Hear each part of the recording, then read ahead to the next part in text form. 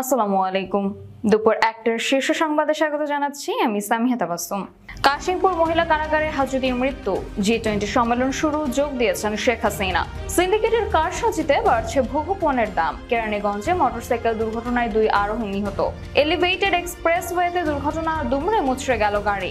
জমি নিয়ে বিরোধে ভাইয়ের হাতে ভাই খুন। ভয়াবহ ভূমিকম্পে বিধ্বস্ত মরক্কো নিহত তিন শতাধিক। বিশ্ব সংঘাতের ঝুঁকির মুখোমুখি হচ্ছে জাতিসংঘের মহাসচিব। মংজু দিয়ে বাংলাদেশের খাদ্যপণ্য রপ্তানি নিষিদ্ধ করল মিয়ানমার এবং ব্রাজিলের বড় জয়ে পেলেকে টপকে গেলেন নেইমার। শুনছিলেন শিরোনাম, এবার বিস্তারিত।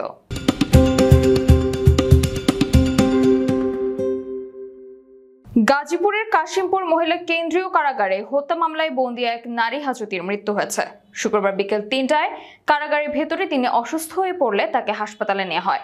সেখানে চিকিৎসাধীন অবস্থায় তাকে মৃত ঘোষণা করা হয়। নিহত কসিরন জামালপুর সদর থানার গোপালপুর এলাকার লোকমান হোসেনের স্ত্রী। ভারতের নয়াদিল্লিতে দুই দিনব্যাপী জি টোয়েন্টি সম্মেলন শুরু হয়েছে। সম্মেলনে যোগ দিয়েছেন প্রধানমন্ত্রী শেখ হাসিনা। শনিবার সকালে সম্মেলনে যোগ দেন তিনি। এ সময় তাকে অভ্যর্থনা জানান ভারতের প্রধানমন্ত্রী নরেন্দ্র মোদী। শেখ হাসিনা সম্মেলনে দুটি অধিবেশনে বক্তব্য রাখবেন। বর্তমান সরকারের মেয়াদের বিভিন্ন আর্থসামাজিক ক্ষেত্রে বাংলাদেশের অভাবনীয় সাফল্যে অভিজ্ঞতা অংশগ্রহণকারী বিশ্ব নেতাদের কাছে তুলে ধরবেন। সরবরাহ কম অজুহাতে দেশের বৃহৎ ভোগ্য পণ্যের বাজার চাকতাই খাতুনগঞ্জে বেড়েছে বেশিরভাগ পণ্যের দাম।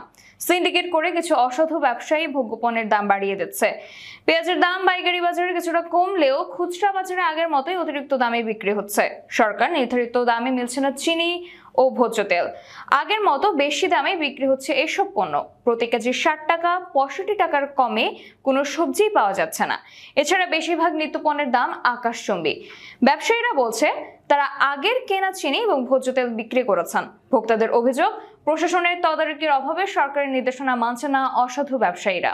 ঢাকার কেরানীগঞ্জের আবদুল্লাপুর এলাকায় মোটরসাইকেল নিয়ন্ত্রণ হারিয়ে দুই যুবক নিহত হয়েছে। এ ঘটনায় আহত হয়েছেন আরও একজন, তবে তাৎক্ষণিকভাবে তাদের নাম জানা যায়নি।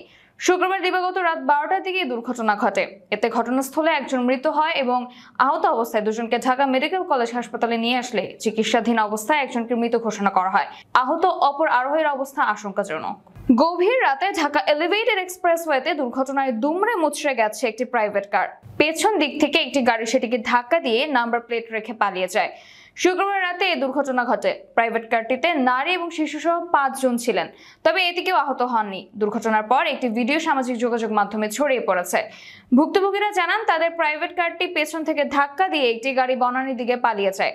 নম্বর প্লেটটি ফেলে চলে যায়। এতে প্রাইভেট গাড়ির পেছনের দিকটা দুমড়ে মুচড়ে যায়। রংপুরে জমি সংক্রান্ত বিরোধের জেরে চাচাতো ভাইয়ের হাতে রেজাউল নামে এক যুবক নিহত হয়েছেন। আর তার চাচাতো ভাইয়ের নাম রাব্বি। শুক্রবার বিকেলে সদর উপজেলার চন্দনপাট ইউনিয়নের লাহিড়ির হাট এলাকায় পারিবারিক সালিশের সময় ঘটনা ঘটে। নিহত আঠাশ বছর বয়সী রেজাউল চন্দনপাট ইউনিয়ন ছাত্রলীগের সাবেক নেতা এবং রংপুর সদর উপজেলা যুবলীগের কর্মী ছিলেন। আফ্রিকার দেশ মরক্কোতে ছ দশমিক আট মাত্রার শক্তিশালী ভূমিকম্প আঘাত হেনেছে এতে নিহতের সংখ্যা তিনশো ছাড়িয়েছে আহত হয়েছে আরও বহু মানুষ। হতাহতের সংখ্যা বাড়তে পারে বলে আশঙ্কা করা হচ্ছে। এমন অবস্থায় চারিদিকে হাহাকার করছে মানুষ। হাসপাতালগুলোতে আহতদের চিকিৎসা দিতে হিমশিম খেতে হচ্ছে। শুক্রবার রাত এগারোটার দিকে হওয়া ভূমিকম্পে ধসে গেছে রাবাদ ও মারাকাশের বহু বাড়ি। খবর আল আরেবিয়া নিউজ ও স্কাই নিউজের। দেশগুলোর মধ্যেই বিভাজন প্রসারিত হওয়ায় বিশ্ব সংঘাতের ঝুঁকির মুখোমুখি হচ্ছে বলে জানিয়েছে জাতিসংঘের মহাসচিব আন্তেনিও গুতেরেস। শুক্রবার জি টোয়েন্টি নেতাদের শীর্ষ সম্মেলনে আগে এক সতর্কবার্তায় তিনি কথা জানান।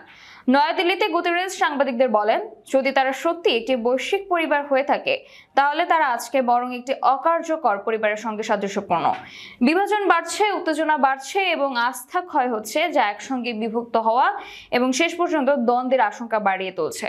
মিয়ানমারের রাখাইন রাজ্যের মংডু হয়ে বাংলাদেশে বিভিন্ন ধরনের খাদ্যপণ্য রপ্তানি নিষিদ্ধ করেছে দেশটির জান্তা সরকার। বাংলাদেশের সোনালী ব্যাংক মিয়ানমারের দুটি বড় ব্যাংকের সম্পদ জব্দ করার সিদ্ধান্ত নেওয়ার পর এই পদক্ষেপ নিল দক্ষিণ পূর্ব এশিয়ার এই দেশটি। শুক্রবার এক প্রতিবেদনে এই তথ্য জানিয়েছে মিয়ানমারের সংবাদ মাধ্যম মিয়ানমার নাও। প্রতিবেদনে বলা হয়েছে, রাখাইন রাজ্যের মংডু হয়ে বাংলাদেশের খাদ্যপণ্য রপ্তানি নিষিদ্ধ করার বিষয়ে গত পহেলা সেপ্টেম্বর আদেশ দেয় জান্তা সরকারের বাণিজ্য মন্ত্রণালয়। আদেশে বলা হয়েছে, চাল, মটরশুঁটি চীনা বাদাম এবং পেঁয়াজ সহ বিধিনিষেধ আরোপিত পণ্যগুলো কেবলমাত্র রাখাইন রাজ্যের রাজধানী সিটুয়ের বাণিজ্যিক অঞ্চলের মাধ্যমে প্রেরণ করতে হবে। ইনজুরির কারণে দীর্ঘদিন মাঠের বাইরে ছিলেন নেইমার। চোট সারিয়ে আন্তর্জাতিক ফুটবলে ফিরে চমক দেখালেন ব্রাজিলিয়ান সুপারস্টার। দু হাজার ছাব্বিশ সালের বিশ্বকাপে বাদশাহের বলিভিয়ার বিপক্ষে ম্যাচে জোড়া গোল পেলেন আল হিলাল তারকা। আজ ভোরে নেইমারের জাদুকরী পারফরমেন্সে পাঁচ এক গোলের বড় জয় পায় ব্রাজিল। আর দলকে জিতিয়ে রেকর্ড করেন নেইমার। ম্যাচের চব্বিশতম মিনিটে রদ্রিগোর গোলে এগিয়ে যায় ব্রাজিল। সাতচল্লিশতম মিনিটে ব্যবধান দ্বিগুণ করে ভিনিসিয়াস জুনিয়রের চোটে দলের জায়গা পাওয়া রাফিনহা। তেপ্পান্নতম মিনিটে আবার গোল পান রুদ্রিগো। একষট্টিতম মিনিটে স্কোর লাইনে চার শূন্য করেন নেইমার। আটাত্তরতম মিনিটে এক গোল শোধ করেন বলিভিয়ার ভিক্টর আব্রেগো। এক্সট্রা সময়ের তিন মিনিটের মাথায় নিজের দ্বিতীয় গোলে পাঁচ এক ব্যবধানে জয় নিশ্চিত করেন নেইমার। আমাদের পরবর্তী বিকেল চারটার সংবাদ দেখার আমন্ত্রণ জানিয়ে এখনকার মতো বিদায় নিচ্ছি। দর্শক, ভিডিওটি শেষ পর্যন্ত দেখার জন্য আপনাকে অসংখ্য ধন্যবাদ।